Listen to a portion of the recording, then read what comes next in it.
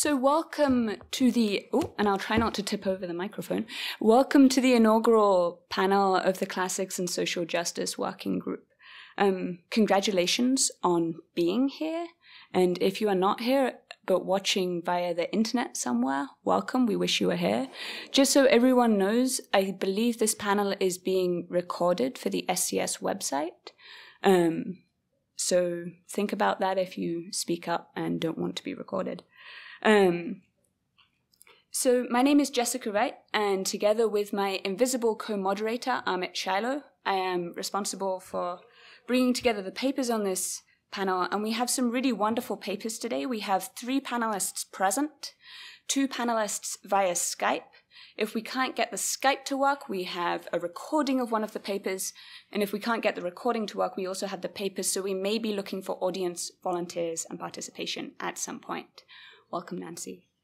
Um, I'm not going to say a whole lot right now because we have a lot to get on with, but just in case there are people in the room who don't already know the Classics and Social Justice group, I wanted to say maybe two or three sentences about it. Um, we're an SCS affiliated group. We're fairly young. We started somewhere between 2014 and 2016 through a series of different conversations involving different groups of people, but we are flourishing. We had a full house yesterday evening. We had no more chairs left, maybe 40 people, 50 people, I don't remember, in the middle of snowy Boston. So it's an exciting group to be part of if you want to be part of the Classics and Social Justice Working Group. We have a sign up list which Nancy Rabinowitz is holding, please put down your name, your email address, and you can indicate whether you would just like to receive annoying emails from us or if you would like to actively volunteer and do things on the committee. Please print.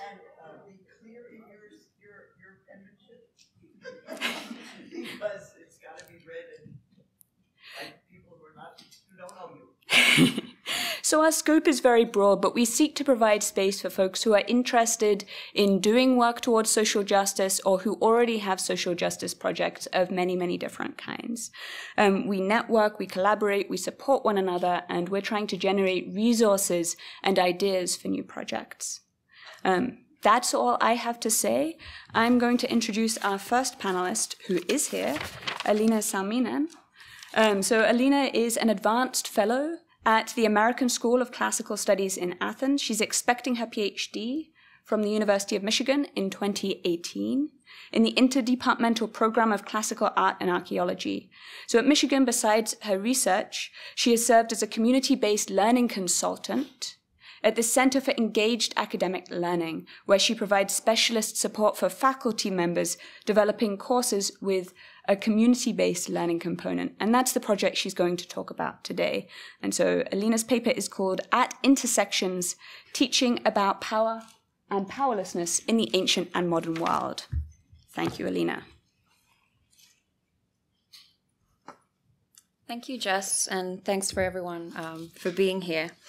Um, so this paper actually details the community-based learning aspect of a course that I taught uh, last winter um, on inequality in classical Greece and in modern-day U.S. Um, as you can tell by the title, and in case you read my abstract, by my abstract, I initially um, planned to discuss the course much more broadly, but it would seem uh, inauspicious to go grossly over time as the first speaker of the morning. Um, so um, instead, I'm only focusing on the collaborations we had with off-campus groups and how I incorporated community-based learning into my pedagogical practice. Um, I did bring um, copies of my syllabus. So afterwards, I'd be more than happy to discuss the primary and secondary sources um, that I used for my course. There are also handouts. I'm not sure if there's enough for everyone. Um, if not, please share. They have some uh, bibliography as well as some of the quotes I'll be discussing later on um, in my presentation. Um, I want to emphasize from the get-go that even though I am trained in community-based learning pedagogy, designing a course on social justice was not easy and it was not an obvious choice uh, for me to tackle. Um, and I'm saying this because I know some of you have a lot of experience with doing social justice oriented work and working with off campus um, organizations, while others might be considering it but feeling, you know, some slight trepidation about the whole thing. Um, So I'm hoping that my presentation will explain why it's worth to take the plunge. Um, and I will also discuss some of the challenges that I tackled and, and how I try to navigate those. Um, and finally, I'm hoping to get uh, feedback from you on how to improve in the future. I will begin with a very brief description of the course, followed by my motivations for teaching it. I will then I'll move to the community-based learning aspect of the course, uh, first briefly explaining what community-based learning or CBL is, um, and then the rest of the paper discusses the practicalities of the course I taught. Um, so I will first tackle the balance of CBL and sort of conventional bread and butter subject-specific content. Um, I will then describe the CBL work that we did step by step, and finally I will close with the outcomes of the course. Um, this slide shows you the class description from my syllabus, and it's also um, on the handout. Um, in brief, the course studied examples of inequality from classical Greece and modern day US, covering many groups of people and many facets of identity, such as gender and ethnicity. The examples covered everything from the status of hetairai in classical Athens to human trafficking in contemporary Michigan. But the goal was to make meaningful, substantive comparisons between inequality in the ancient and modern worlds. We looked at sources ranging from Aristotle to archaeological reports and from bar graphs to blog posts. In addition, there were collaborations with off campus groups, which will be the focus of my um, current presentation. So we had visiting speakers come to our class um, from organizations promoting social justice, and the capstone project for the course was a small set of visits to an after school program to teach K to 8 youth um, about the ancient world. So as you can see, the scope of the course was ambitious, to say the least, um, but I really felt compelled uh, to design it the way I did for a few different reasons. So prior to designing the course, I was at times frustrated with the lack of student engagement and my students struggling to see the pertinence of classics to their lives. Um, I wanted to move beyond offhanded comparisons to truly testing how we can use the past as a tool to think with about modern day US. And conversely, I wanted to see whether we could use the modern theory of intersectionality uh, fruitfully um, in the context of the ancient world. I was also pre fired up about social justice discussion happening on the University of Michigan campus in the aftermath of several racist incidents. So um, I really wanted to encourage my students to truly engage and grapple with issues of social justice based, based both on facts and their own experiences. Mainly, however, um, I wanted to expand the walls of the campus bubble a little bit um, and see if we could incorporate classics in work that was meaningful to communities off campus. Um, and finally, and importantly, Michigan has a community, a, community engaged academic learning center who offer training, support, and resources to instructors interested in doing this kind of work. Um, I cannot thank them enough for their help, and I encourage all of you to reach out to similar units uh, within your institutions, which are popping up very rapidly, um, I must say. So I've been using the term community-based learning throughout this paper, so I think it's high time to explain um, what it means and what its implications are. CBL, sometimes referred to as service learning, can refer to any learning activities that go beyond the traditional campus and which allow students to engage with and apply content that they have learned. So this could be collaborating on projects with off-campus entities, it could be doing research to support an organization, volunteering for a nonprofit, and so on and so forth. Um, importantly, however, the CBL community has developed best practices that distinguish well done CBL from simply sending students off to a community and hoping they'll learn something and not cause too much damage. Um, and I believe um, Amy Pistone via Skype or however, whatever the delivery will be like, uh, will be talking about exactly this topic. So I will not discuss it in my paper, but I look forward to a fruitful discussion on it later on. Now that we have a broad idea of what CBL is, I want to delve into the nitty gritty. Um, before describing the CBL work we did step by step, however, I want to focus on one aspect that is a common source of anguish and angst um, among people wanting to incorporate CBL work into their teaching, myself very much included in this group. How on earth to fit the bread and butter subject specific conventional content in while also making room for CBL? So I will justify and describe some of the choices I made, as well as provide tips on how to make covering the material more feasible. In addition to having a CBL component, the theme of my course was very broad power and powerlessness in uh, classical Greece and in modern day US. Um, this resulted not only in some pushback from my colleagues, but also some real scheduling challenges. Um, the slide here shows you uh, the different elements of my course, and as you can see, it is an awful lot. Um, as soon as I began to fit things into a weekly schedule of two hour classes twice a week, so four hours total per week, I realized a lot of compromises would be necessary. And these compromises were mainly done in terms of the ancient material covered. Um, in order for CBL to be responsible, significant amounts of time need to be dedicated to it, not just to the CBL work itself, but to scaffolding, preparation, and reflection. Making room in the schedule for CBL was initially discomforting, but once I had clearly outlined my main goals and priorities, it really ceased to be a concern for me. And while each instructor makes his or her own compromises, I recommend coming to terms with the fact that CBL courses require different priorities earlier rather than later on in the process.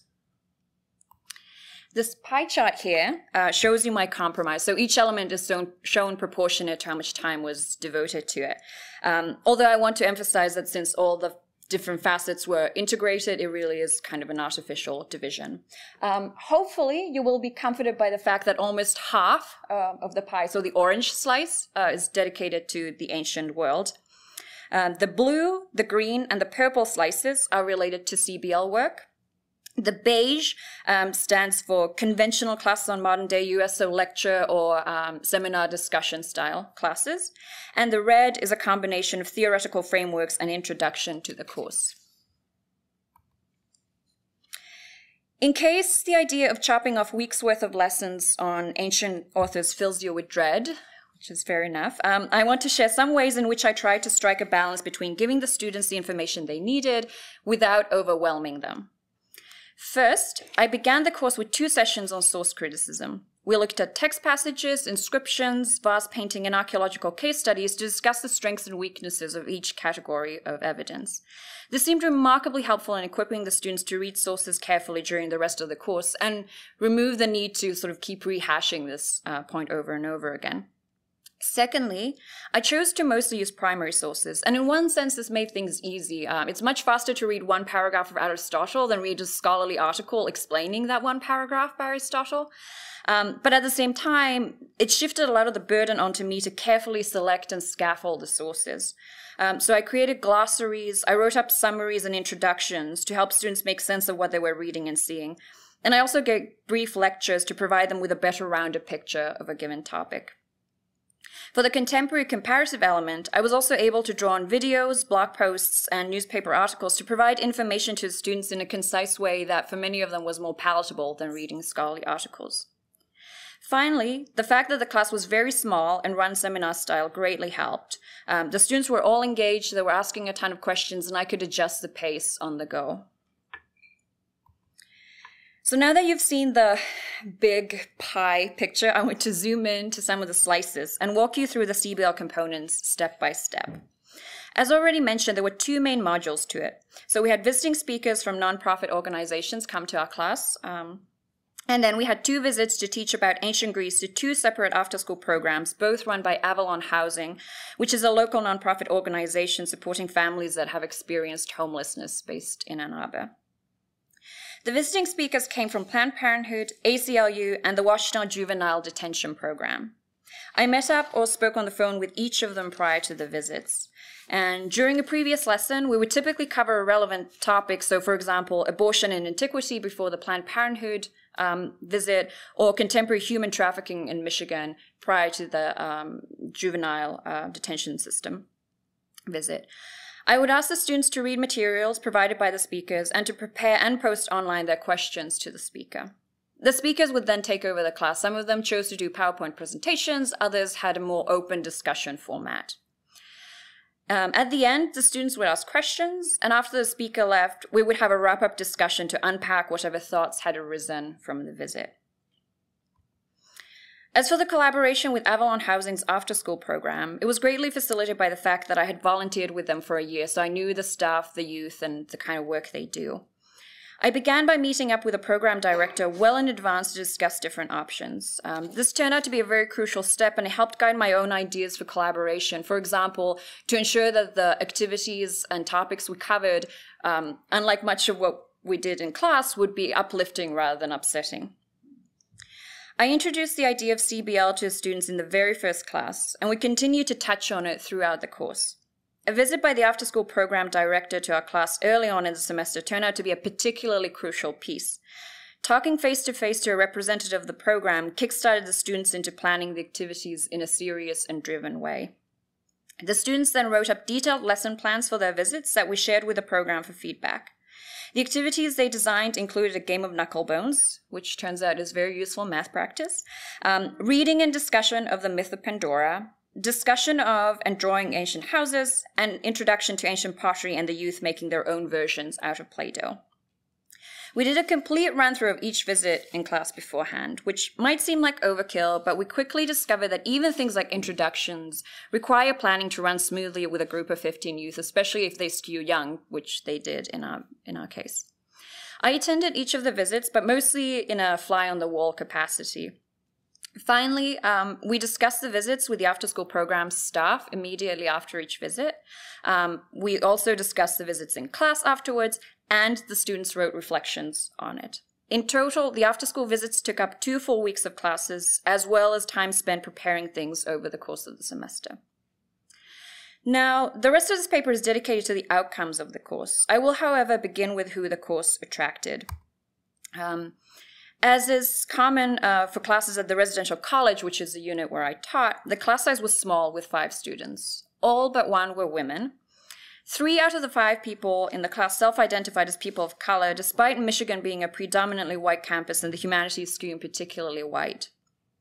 What was the biggest surprise for me was the fact that none of the students had any background in classics or related disciplines. So they had all basically stumbled across this class and decided to take it to fulfill their humanities requirement.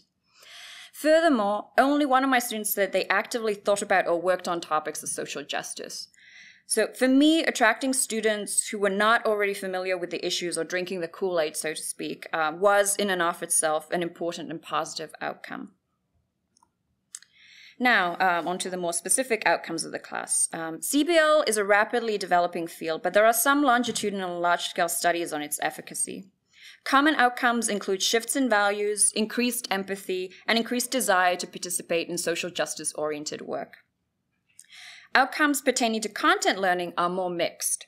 Some studies indicate students learn more deeply and effectively, especially on projects where they are asked to apply the learned content. Um, other studies, however, suggest that in the process of getting invested in CBL and social justice work, students might lose some of their motivation to study conventional content, or even lose some of their interest in the entire topic being studied. My experience was consistent with most of these findings. Um, there was often a push and pull as the student wanted to tip the roughly 50 50 balance to almost entirely modern day issues. Um, the seminar style format and weekly short writing assignments ensured the students obtained a very decent level of content knowledge about the ancient world, but it was clear emotions were at times driving their learning. So students could um, remember a sense of shock or surprise, but they couldn't remember the details of exactly what had shocked um, or surprised them. To counter this, I realized I needed to guide the discussion more and provide more scaffolding and repetition.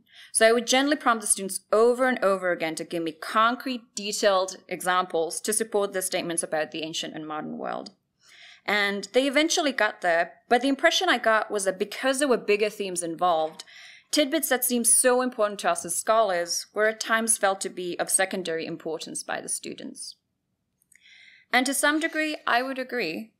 Um, so my students wrote reflections um, on the community-based learning elements as well as the comparative modules. And based on these reflections, the things my students gained from the course are much more important than knowing who wrote against Neaira, which we don't know anyways. Um, and uh, from these reflections, I have um, identified a handful of themes. So I've included more extensive quotes in the handouts, mostly because I love them so much. So I wanted to share them with all of you to brag. Uh, but I will um, here just go over them quickly and give some examples. So first, um, the students felt that the CBL component helped solidify their learning and also encouraged them to explore new topics. Um, so here is one student saying how um, preparing for the after-school visits helped cement things she had already learned. But there's another student who noted that because in coming up with activities and designing them, they had to do research, they were actually expanding their knowledge um, of the ancient world as well. Secondly, um, because the CBL component um, consisted of teaching K 8 youth, um, the students also learned a great deal about how to teach effectively. And they also showed admirable awareness of the after school youth's learning. So here I have two quotes, and the first one uh, has to do with the Play-Doh pottery activity that we had. So we were talking about the um, functional dis- um, distinction between open shapes and closed shapes, and one of the one of my students noticed that when um, when the youth were making the uh, vessels, they would consistently put uh, blue Play-Doh in the open shapes and little balls of Play-Doh uh, in the closed shape. So not only had the youth um, learned this, you know, rather scholarly functional uh, distinction that we make um, as archaeologists, my student had, you know, enough um, pedagogical acumen to observe this and, you know, feel feel like her teaching had been effective. The second quote um, is much more about sort of genuine a genuine moment of connection and empowerment. So these after school programs can often be um, pretty restless, uh, kind of noisy. Um, but the student was reading the myth of uh, Pandora to the students, and all of a sudden, the, the youth just went quiet and they were all listening. Um, and afterwards, um, they were asking questions, and the student was able to answer them. So for her, it was this beautiful moment of connection, but also empowerment and realizing how much she had learned about the ancient world because she was able to answer the students' questions and felt like a competent instructor. Um, so for her, it was a really um, empowering experience. The students uh, reported learning many transferable skills, and they also identified specific ways in which these skills could be useful for them in the future. Teamwork, flexibility, and communication were especially frequently mentioned. In addition, um, centering the community partners helped the students show accountability and maturity in a way they frankly do not always show in class.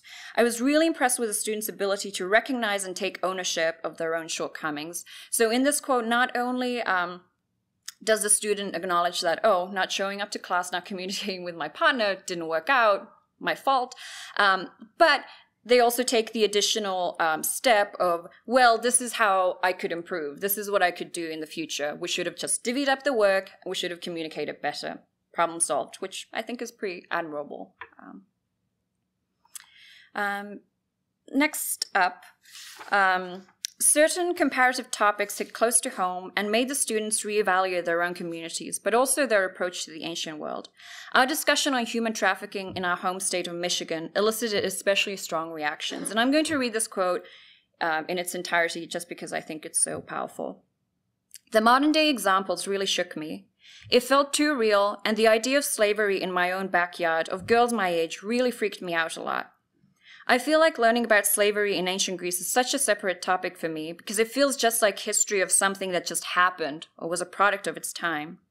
When I read Aristotle, these are the excuses I personally give him for his views on slavery. However, is this what future generations will say about our huge human trafficking problem nowadays? That we didn't know better and are simply the product of our times? We should be putting more efforts into stopping human trafficking because things being the product of our time is just a terrible excuse for us not being proactive enough as a society to make change. Now, I feel like I could give an entire paper just on, on, on this quote, but so the student here is doing this really intricate movement to and fro between the ancient and modern worlds and using both of them to shed light on the other and using it to question her values and assumptions, both about her um, own community as well as the ancient world. Um, and not only that, but she takes the additional step from being shocked and, and appalled to saying, we need to be proactive, we need to make change. So she is starting the shift from, um, yeah, from moral outrage to activism, which just frankly blew me, blew me away.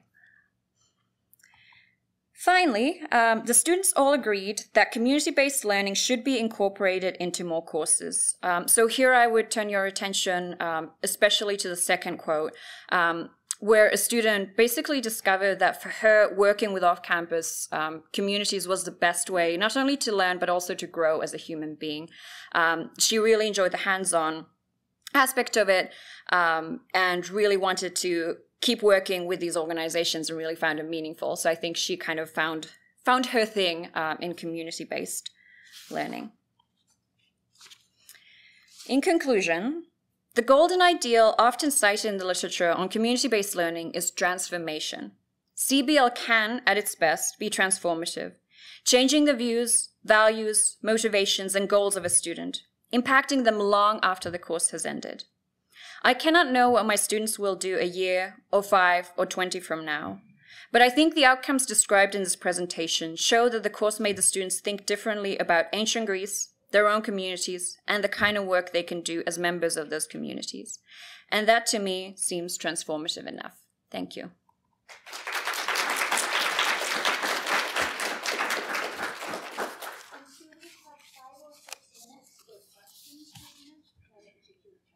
Yes, please.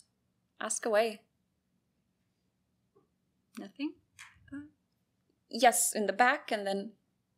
So, um, I have a question about uh, your use of comparative material, Mhm. moving from the ancient to the modern. Um, I went. I was part of a conference recently where um, uh, colleagues of African American studies got very angry about classicists' comparison between, say, ancient between ancient slavery and modern slaveries. Um, and I realized how uh, we can, in just looking within our own discipline, uh, get it very wrong um, when it comes to to the comparison between um, ancient and modern. And. I wondered if you consider this at all, um, for example, when you make the move between ancient and modern trafficking, and uh, if so, what you do to avoid, um, uh, you know, misguided scholarship. hmm Yeah, that's an excellent point. Um, and I'm not sure if I have an ideal response to it. I think it's definitely it's something I'm aware of and something I've thought about. Um, I think one way, oh, a few ways that I try to um, be at least a little bit more thoughtful is about first of all dedicate time to it because a lot of time what we do in classes we have these very sort of five minute comparisons um, which kind of reduces things to a, to a stick figure picture. Um, so first of all, you know, like in order to make meaningful comparisons, you need to devote enough time time to it. And the other thing is exactly reaching out um, to communities, reaching out to organizations doing social justice oriented work, bring in their expertise rather than just, you know, pretending to be an, an expert on topics that that I'm not. So those are kind of the two um, main things I can think of that I did, but there is definitely much more thinking I should be doing and we should all be doing. So thank you for that comment. Yes. question about the preparation of the students for the CBL. Uh, Before you go out and interview human subjects, you have to be trained.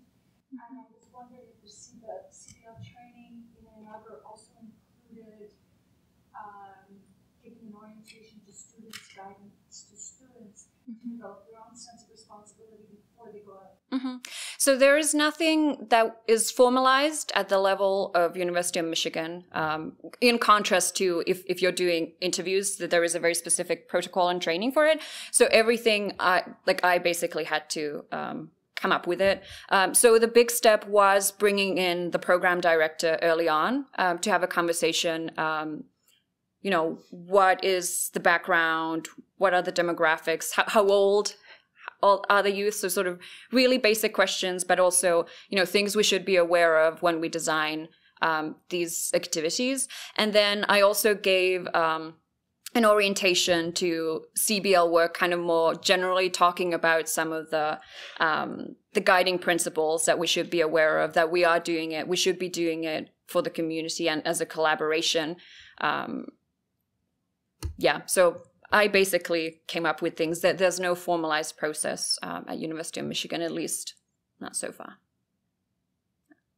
Uh, thank you, Elina, for this wonderful presentation and congratulations. I, I just love your project. Uh, I would like to ask you about your experience uh, volunteering because you have said that uh, you were volunteering one year before. Mm-hmm. So my, my, uh, my question should, should be uh, how did the uh, entire idea of this project come to your mind? Uh, Mm-hmm. Because I, I assume it happened when you were volunteering. hmm So can you tell us something about yeah, that's basically so I think it was just you know, lucky happenstance kind of that I was already involved with this organization and then I started thinking about uh, community-based learning and designing my own course and I was like, well, I could reach out to um, other organizations, but since I already have a connection uh, with this one organization, so um, so it, it really is kind of as, as simple as that. Um, is that I was already familiar with the mission, um, and it kind of yeah, it dovetailed very nicely. Um, Um, to- uh, I find this is very important because some topics we were discussing in the meeting yesterday is uh, what do we do? Um, uh, to find out what do we do, we have to be previously involved in the community as you were. Otherwise, Right. it just it just doesn't come out like that. Right, that's true. Yeah, um, and I think that's a very good point. And I think the the reason I talked so much about scheduling um, in my presentation, which might seem like why talking about logistics and scheduling, is like for me the big realization was really the importance of time. Like developing this course, frankly, took me forever. Um, not only in terms of the hours put in, but also like it took me two years to you know start thinking about things and you know for the pieces slowly to um, to fall fall into place. So um, yeah, it's yeah, it's something you have to cultivate and kind of give give it time. Oh.